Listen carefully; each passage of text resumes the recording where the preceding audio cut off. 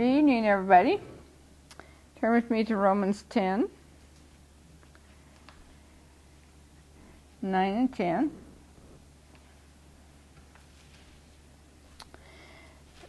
That if thou shalt confess with thy mouth the Lord Jesus, and shalt believe in thine heart that God is raised from the dead, thou shalt be saved.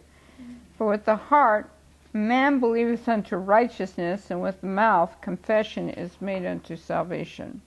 Lord, we just thank you for everything, and we ask that you come down in a powerful way and just encourage and anoint and make your li- your word alive tonight to us as we partake of it. We just thank you for everybody's here. We ask a blessing upon their lives, and we just say this in your name, Amen.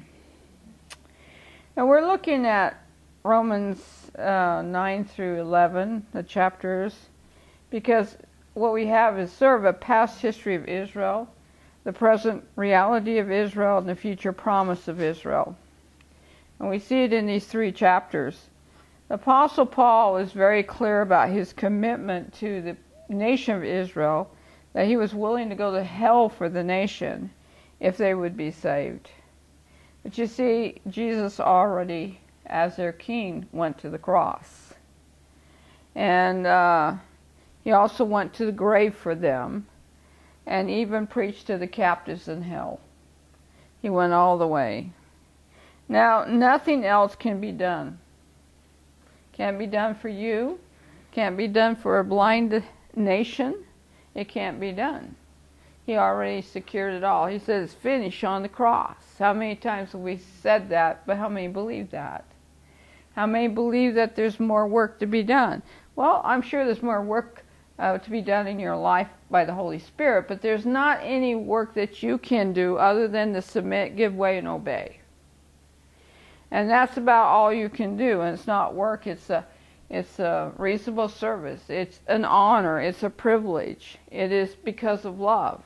It's all for the right reasons. Now, it's up to individuals to believe. That is the bottom line. To believe whether you're you're uh, a Jew or a Gentile. It's up to you individually to believe. And so we see people coming out of nations and out of people and believing. They come out and they're separate and they become part of the church. Now, in due time, though, know this the nation of Israel will be humble enough to receive the Messiah one of these days. And this humility for the nation will come with a great price. Of course, you can read it if you want to, Zechariah 13, 8, and 9. I'm not going to have you turn there, but basically what it says is that thir- two thirds of the Israel nation will perish. Only a third will come through the fires, and they will come through the refining process and of that of gold and silver. And this is going to be quite a process for them because when they come out, they will not only know who their Messiah is, but they'll reflect him. And so there's a lot that's going on right now. Uh, so in Romans 9, you know, there was that great debate how God could elect such a nation. how could you elect Israel? But it's God's sovereign right to choose whosoever he wants to choose, people. It's not up to us to tell him how to do his business. After all, God is the potter, and guess what? We're the clay, whether we like it or not. Now, we can be stiff necked, and that just means our process is going to get pretty hard on us. Uh, whether it's being left out in the weather more, whether it's being pounded on the wheel more, whether the heat gets a little intense, it's just it's still going to come down to us as to how much of a process we're going to have to go through. Because he has to make us pliable. He has to make our neck willing to bend, our knees willing to bend, our heart willing to be open. And as long as we're independent and self willed and self stiff neck, he's going to take us through the process. And we can get mad, we can scream, I've done it. I was, I'm a spoiled, rotten American and I've had fits with him. And he says, Go ahead, it's not going to change what I need to do in you. And so it's all about what He wants to do in you. Doesn't matter what your plans are. Yeah, you can push Him back. You don't have to go along with the plans. You can make it harder on yourself, but you're going to miss a lot in the process. And I know as one person, I would not want to miss the incredible experiences I had with God because He took me through the process and I allowed Him to. I did not act like a great person in that process. Sometimes I was just, I would have taken me over my knee more once and spanked me a big time, and a couple of times He did. But this is how God is. He's taken us through a process. He has a right to choose who He will. He exalts who he so wills. He will bring down who he so wills. And this is not just individuals, it's nations, people. He uses all as vessels, and some as vessels of honor, and some as uh, dishonor. But you know what we are in his hands? We're putty. You know what nations are in his hands? They're putty. And to think anything else is to not be realistic with God at all. He can do whatever He wants with you. But He wants the best for us. But we have a tendency to say, God, unless it's my terms, my way, I don't believe you want the best for me because I know what's best for me. No, you don't. You have no clue. And you know why we don't know what's best for us? Because we're selfish. And to know what's best for us means we have to know what's right for others. Because if we're pushing our way on to others, we're going to find ourselves in the middle of tons of conflict. So he is all, he's talking about the fact that he uses um, circumstances, situations to bless, to test, and to judge his people. So in Romans 10, he talks about the zeal that the Israels had towards the Lord. After all, salvation is of the Jews. That's what John 4:22 says. Now, what they had was the law, and they felt sufficient enough, the Jews, in their own strength and piousness to keep it. But what they failed to see, and we can't emphasize this enough, is into the glory of the law. To see beyond it, to see holiness that would undo them no matter how wonderful they thought they were. I'm here to tell you, you stand the holiness of God, it's going to undo you. There's not going to be a lot left standing when it gets done with you. You're going to stand just as, as poor Isaiah. I mean, here was a righteous man in his own way, but he says, I'm a man of unclean lips. I'm a man of people of unclean lips. And so you will sense your patheticness in God's holiness, and people don't want to feel that way. They don't want to feel bad. They don't want to, you know, and so they don't want to look into the glory of the law because they'd have to look at the holiness of God and know that they were totally undone before God over it. Now, the glory of the Lord reveals that no man can keep the law, really, the principle of the law. They, they, they can't keep the principle of law. If man trespass the law by treading contrary to it or breaking it, by knowingly doing wrong or showing contempt and mockery, please hear me. When you choose to disobey what you know is right, you're showing contempt and mockery towards what God has ordained as being sacred. That's very, that's very serious. I remember this very much because as I was reading about David and what he did with Bathsheba, the term that was used by the prophet with David is that you disdained his, his, his commandments. That's how God looked at it. And so uh, there's this attitude that you have when you go into disobedience that shows contempt or mockery towards what God has ordained to be acceptable to Him. Now, if you have broken uh, the point of the law, uh, if broken the law at one point, you have broken the whole law, according to James 2:10. So, what the problem was for the Jews is they had a zeal of God according to their knowledge of the law, but they were ignorant as to what constituted righteousness. Today, if you really ask me what's wrong with the church, they have all these standards, all these doctrines, but they're ignorant as to what constitutes true righteousness before God. It comes back to something called faith. Now, we use the word a lot, we can talk about it, but how many really walk by faith? As believers, we know that what's at the end of the law, the glory of the law, is Christ Himself. He's the one that basically satisfied the law. He satisfied it on our behalf. Now, Moses, when he was given the law, could only ascribe to obeying the law as being a point of righteousness, but it wasn't a point of righteousness. Because you have to ask what happened before Moses, before the law. How was righteousness determined then? Well, it comes down simple. What did Abraham live by? He lived by faith, not the law. And that's what we're supposed to do. And that's what the Jewish people failed to understand. They were to live by faith, not by the law. Out of faith, they would be obedient, they would do what's right, but they would be living by faith. For them, keeping the law was a duty. But to God, because of their attitude, it became useless. Because there was no faith in it.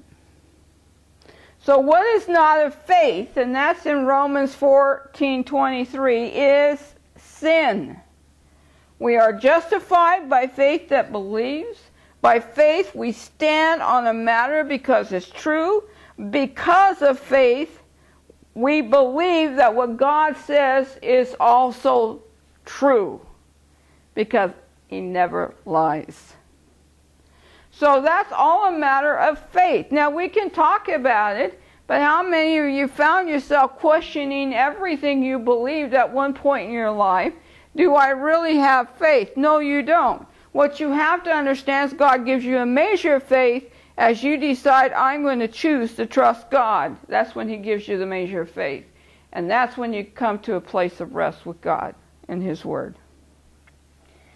So no man can bring the Lord down to His way of doing and make it acceptable, or raise up Christ and resurrection power to overcome the enemies of the soul.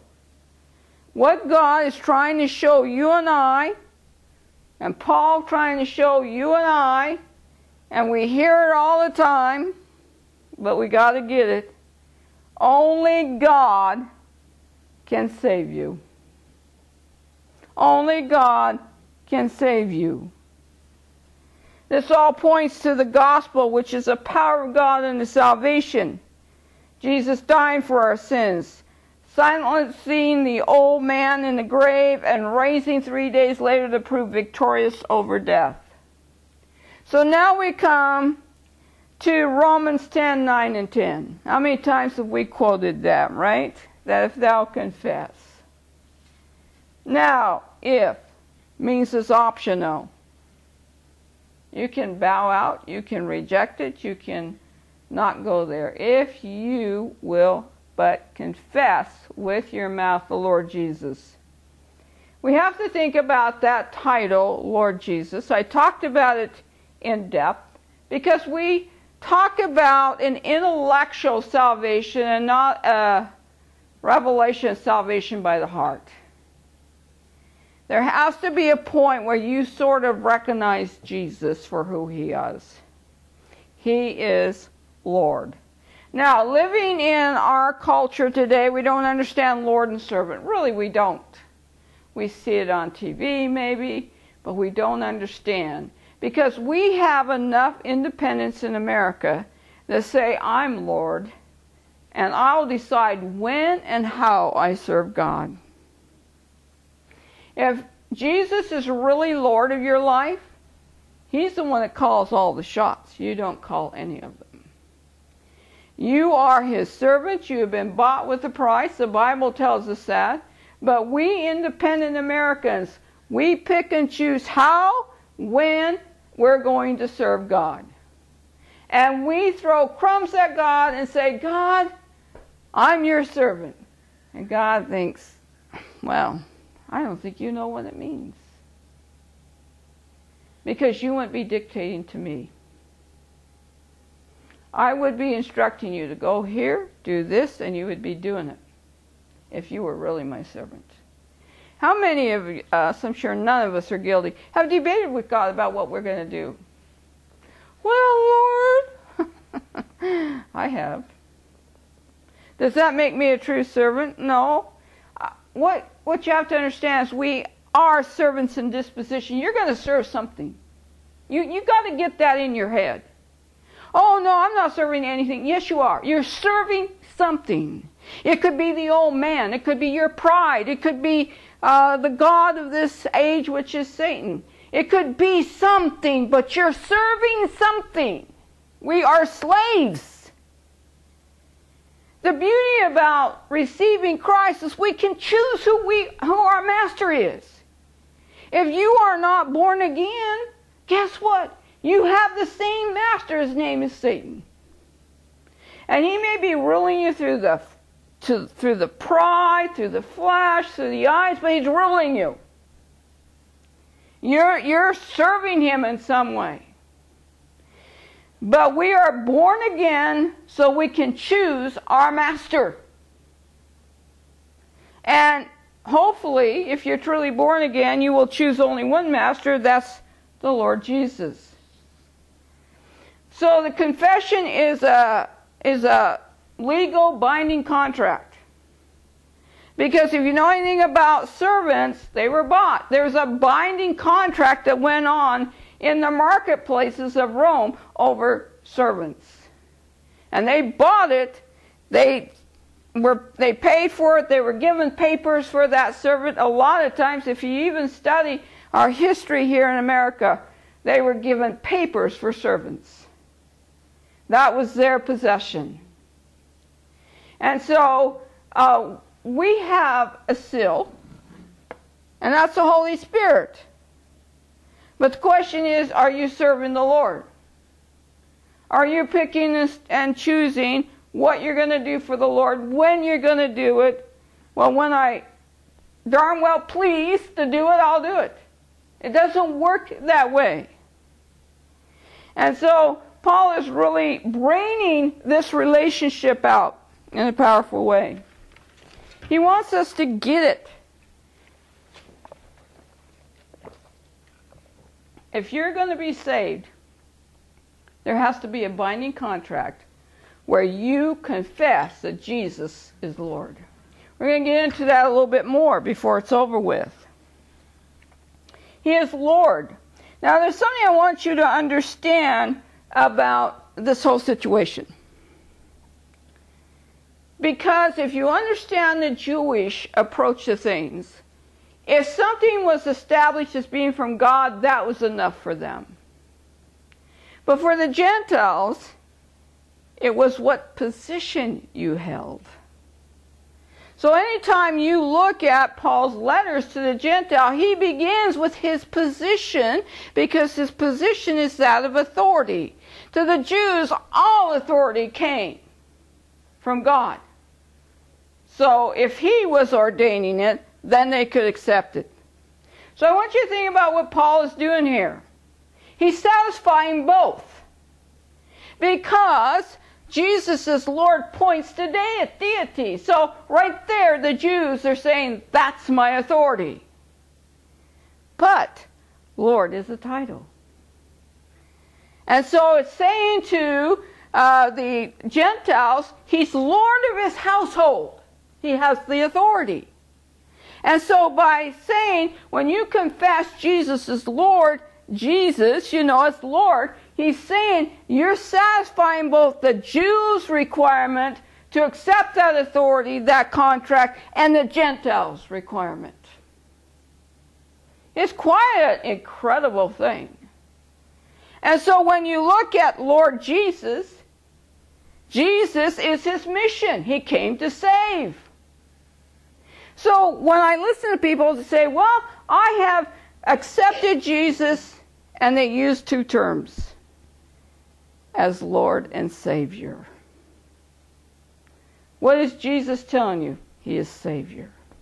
Jehovah is your salvation. So every time they say, I've received Christ as my Lord and Savior, they're coming back, in a sense, right back to what uh, Paul said in Romans 10 9 and 10. Confess Him as Lord, Jesus. Your Lord and Savior.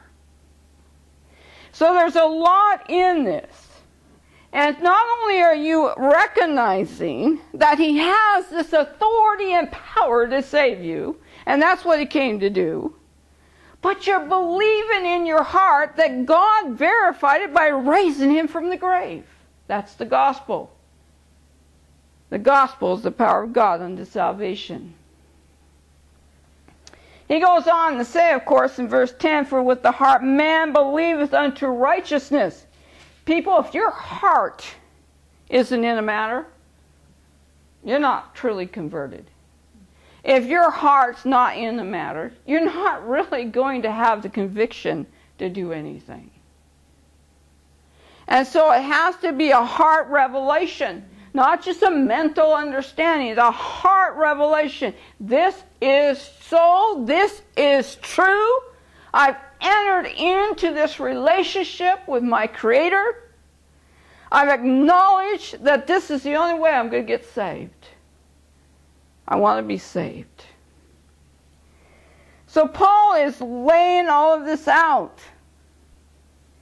So Paul is establishing the authority for both the Jew and the Gentile in order to confirm that one can believe the truth as a matter of good faith.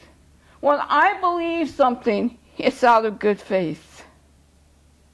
When I respond to something, it's because of the other person's good faith towards me. You have to understand that. Every time you obey, you are showing what?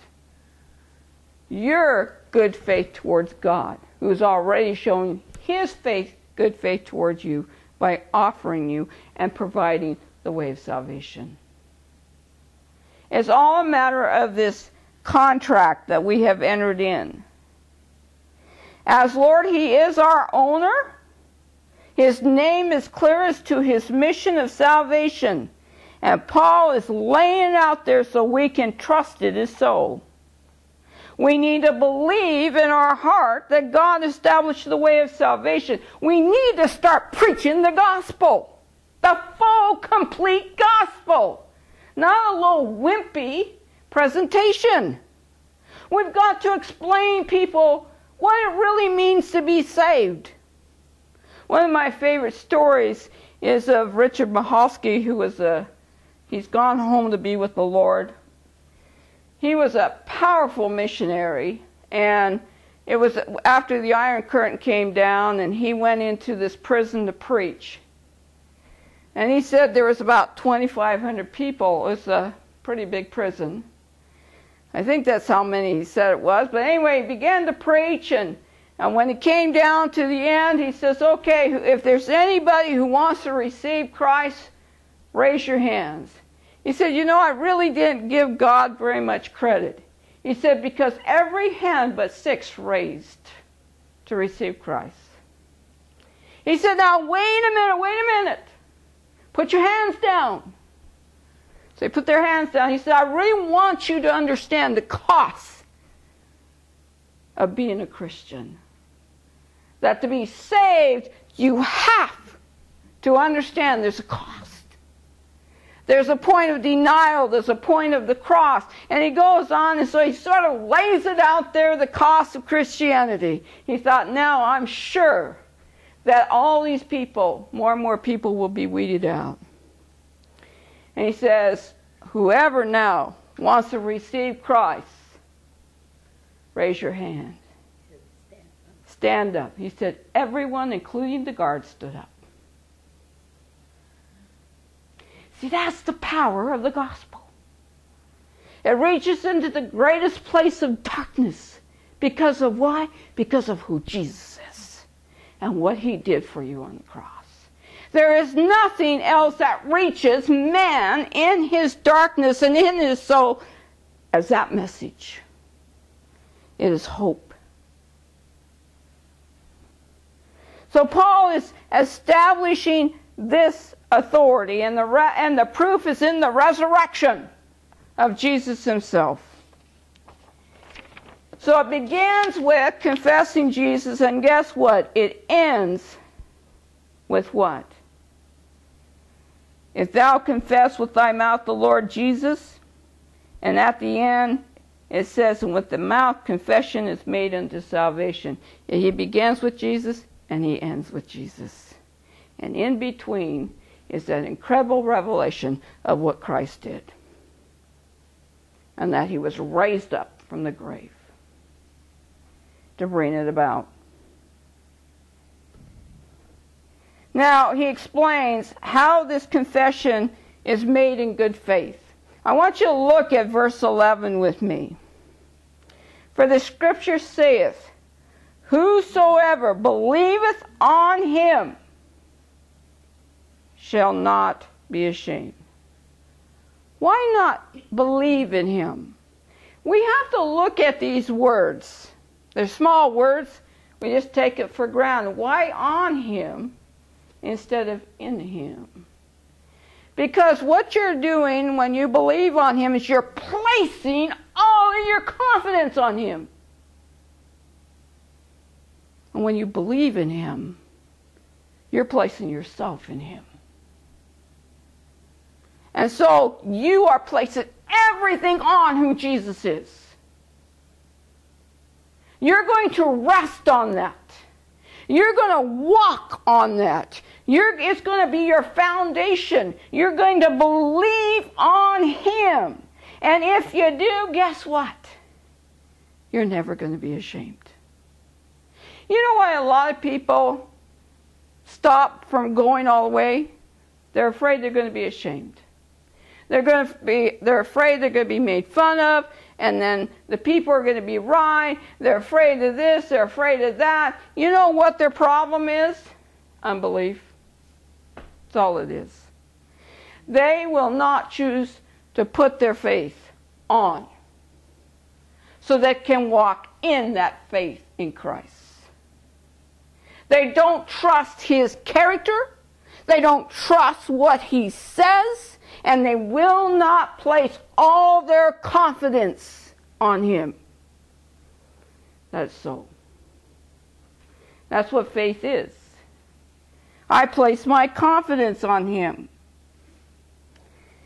He says, You'll never be ashamed for believing.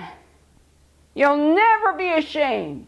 You'll never be caught there looking stupid or foolish or dumb because you believed. Because He's going to confirm your faith wherever you turn and you believe on Him and you believe on His Word and you walk in it. You will never be ashamed. I can tell you there's times that my human nature gets in there and I get a little afraid and I get embarrassed, I get that. Hey, we all have those moments. But the beauty about me is I have this evangelist that doesn't matter where she is. Well, two of them, but especially one has been at it for a lot of years, and she goes in there and she parts the Red Sea. Oh, thank you, Jeanette. Thank you, Carrie. I don't have to part the Red Sea. You just did it. And they do that. I'm a different evangelist. I like to sit and talk with people, find out where they're at. They go in with the, the gospel. And yes, you do occasionally. I do it at school. Yes. Okay. Anyway, but that is the reality of evangelists. Okay, I am not the out front person. Jeanette will find the smallest crack. Mm-hmm. To me, it's so minute you'd have to get out of some kind of magnifying glass. but she sees it and she runs through it. I've seen her do it time and time again. Every day almost. And you never know. I mean, some of the things that happens just sort of shocks me. I'm like, oh, okay, Jeanette, okay, okay, okay. But again, I'm the one that likes to sit down and talk to people. Want to see where they're at. Want to see where I can uh, bring in the reality of Christ. If they're open. We just have different evangelistic ways, and her way is her way, and my way is the way that God has made me comfortable with. You have to find that in yourself. You have to find that balance in your own life. How you can walk in and be prepared. That's the key. Are you willing to share the gospel? Then avail yourself to share the gospel gospel and then ask the Lord to bring people into your midst to share the gospel. And then look for them because he's going to bring them. That's what you have to understand. That's why Jer- Jeanette carries all of these uh, tra- Chick tracts with her. Oh, here's one. She'll hand them to the kids when they walk through. Here's one. And they love reading those Chick tracts. Uh, they may laugh at them, but they love it. We had this kid back in Nampa. He was trying to uh, start a van cl- vampire club and going to cause all kinds of chaos and everything. His parents brought him there. We prayed with him. But Jeanette had these Chick tracts, and he would take him to school. And we're talking about people ready to get in, in, in um, uh, they call all kinds of things, and they would take turns reading it. They would mock it, but they read it. They couldn't help themselves but read it. He would come back and tell us, you know, they all read that tract, and they mocked it and laughed at it, but they read it. Mm-hmm. And they read it all the way through. We never know the seeds that are planted. It's not up to us to worry about whether seeds are planted. We have to just be available to plant them when the opportunity comes. Now let's look at verse 12. It says, For there is no difference between the Jew and the Greek, for the same Lord over all is rich unto all them, all that call upon him. Now, he's saying here that anybody can come to him.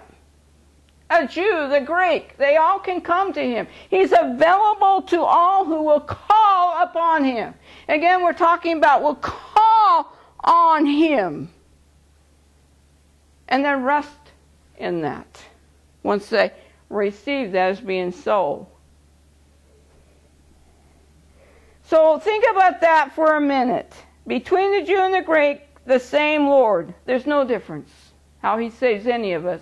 He saves all of us the same way. It's the same way, people. Believe, receive, open heart.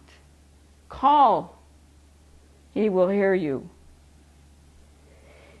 For He's the same Lord over all. The same Lord. He's the owner and possessor of all things over all of us. He is rich. We become rich because of him. One of the uh, the favorite scriptures I used to read uh, is found in 2 Corinthians. I'm sure most of you know it. 8.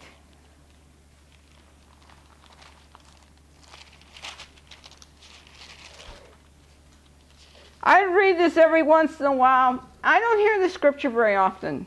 I used to hear it all the time when I was first saved. They'd go to the scripture, but I don't hear it very often. But let's look at it. For we, for you know the grace of our Lord Jesus Christ, that though he was rich, remember he he had everything. Yet for your sake he became poor, that you through his Pro- poverty, I didn't even get that. Thank, thank you. Might be rich. He became poor so you could be rich. He became sin so you could be made in the righteousness of God. He took your place. So why do we live like a bunch of heathens, beggars, spiritual paupers in the world today when in Christ we have it all? Why do we sell for all this patheticness around us when we have been seated in high places with Christ? That's something we have to ask ourselves. James 2 5 says that what he wants us to be rich in is, this, is faith. Faith. It's all about having that faith. This is why the next scripture is so powerful. He is leading up to this scripture. He's leading up to it. What is he leading up to? Verse 13 in Romans 10. For whosoever shall call up on there we go, placing everything in Him so we can rest in all that He's promised us. Up on who? The Lord. The name of the Lord shall be saved. Now, I want you to think about this for a moment because I studied this. We're, again, we're talking about that we're calling up on Him because He's trustworthy. We're placing everything on Him. We're going to walk it out because of Him. But how many do you think have called upon Him? Now, the word call means to invoke for aid, worship, testimony, decision, etc., to appeal unto. To call upon, it points to exaltation and it implies coming to rest on something.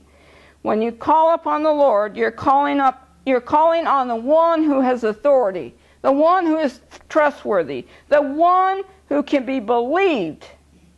In fact, you're going to rest everything on it. So, how many people are recorded in the Bible as calling upon the name of the Lord? I want you to know I didn't get all of them. I just got a few. But I'm going to give you examples. What about that Hagar? Did you know she called upon the name of the Lord in Genesis 16, 10 through 12? And you know what she, she received? She received the promise of a son. Could she rest upon that? You bet. She went back and submitted to Sarah and had a son. Now she called upon the Lord. And he said, You will have a son. What about Abraham in Genesis 21:33? He planted a grove and he called upon the name of the Lord.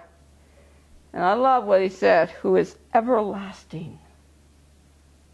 Do you think he was disappointed for resting in the Lord's promises, even though he didn't even see his son for 25 years, that promise being fulfilled?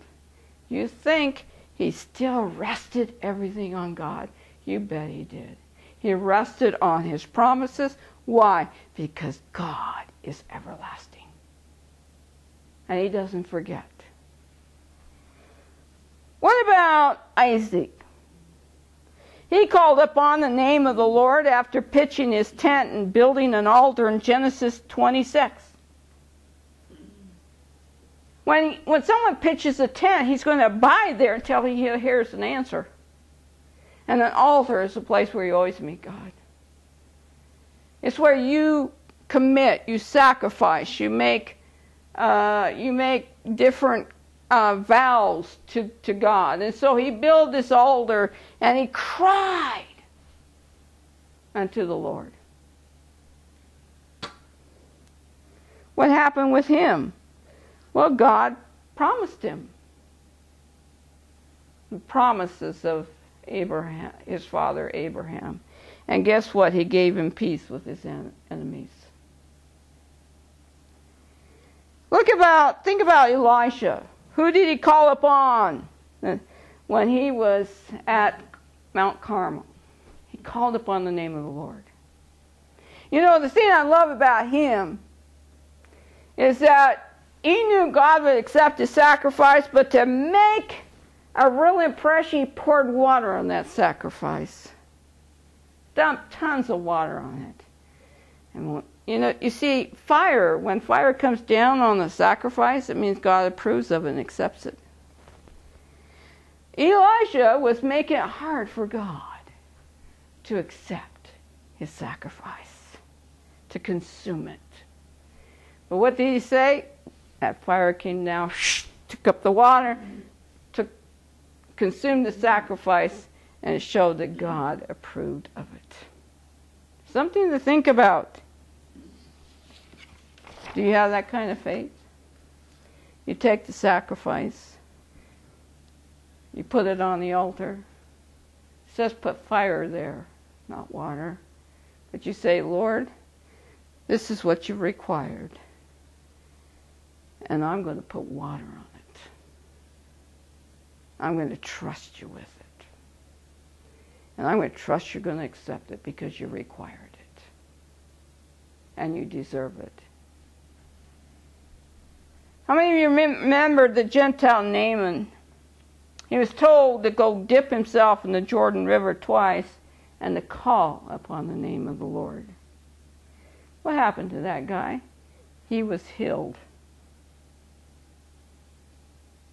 Are we not being healed today because we're really not calling upon the name of the Lord? Because when you call upon the name of the Lord, you have to be willing to respond. You have to do what He tells you to do. And, oh, yeah, I'll call upon the name of the Lord. Okay, this is what I want you to do. Oh, forget that. I'm sure you're not asking me to do that, Lord. Just blew it. We are told that God quickens those who call upon his precious name in faith. He quickens you. Do you need to be quickened? Now, we have many promises attached to those who call upon the name of the Lord in simple faith. And when they come to rest on his abiding promises, they can because of who he is. And we know according to Hebrews 11:6, no one can please God without faith. However, I want you to consider Asaph's request to the Lord. I thought this was so interesting when I was doing this study. Look at Psalm 79 6. It's sort of an amazing thing. I looked at that and thought, wow, what a man. Uh, that he would say that to the Lord, what he requested. So I wanted to take note of it. Let me get there. 79 6. Now look at what he says. Pour out thy wrath upon the heathen that have not known thee, and upon the kingdoms. Now, notice the last part of that that have not called upon thy name. Wow. That's serious business. So, how important is it for you to call upon the name of the Lord? That guy said, Asaph, pour your wrath on them if the nations who do not call upon you. How glorious is the name the Lord Jesus. It's glorious because of who Jesus is and what he's done for us. How far reaching his name is. Heaven responds, hell shakes, the wicked tremble, and the evil hide. And it's all because of something that was said. We all know it. It's found in Philippians 2. Turn there with me. Philippians 2.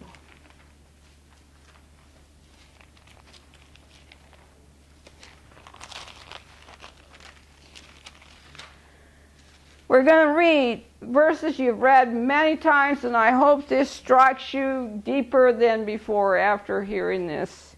Beginning in verse 9.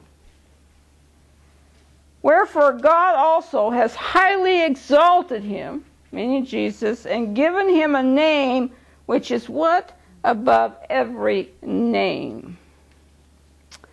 That at the name of Jesus, every knee should bow, of things in heaven and things in earth and things under the earth, and that every tongue should what?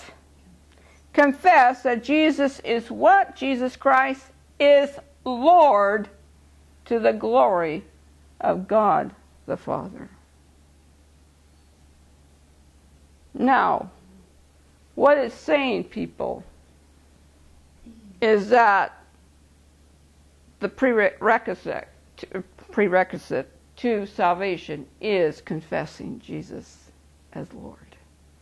I'm here to tell you if you don't do it now, you're going to do it. You're going to do it. Because why? He is Lord.